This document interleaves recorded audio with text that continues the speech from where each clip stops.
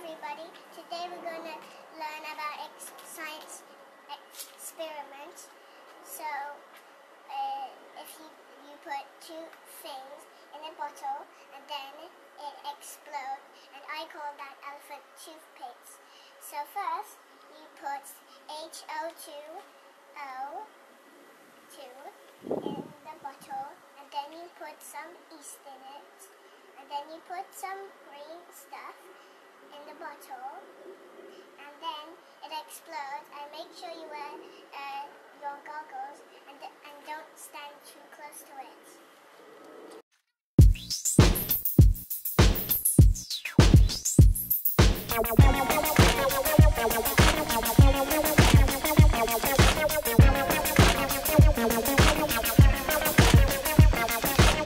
it.